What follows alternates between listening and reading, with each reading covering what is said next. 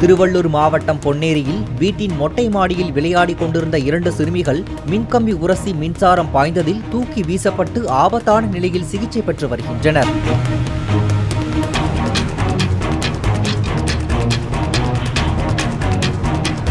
பாதிக்கப்பட்ட நாகலட்சுமி என்னும் பதினாறு வயது சிறுமியும் மணிமேகலை என்னும் மூன்று வயது சிறுமியும் பொன்னேரி அரசு மருத்துவமனையில் முதலுதவி சிகிச்சை அளிக்கப்பட்டு மேல் சிகிச்சைக்காக சென்னை அரசு ஸ்டான்லி மருத்துவமனைக்கு அனுப்பி வைக்கப்பட்டனர்.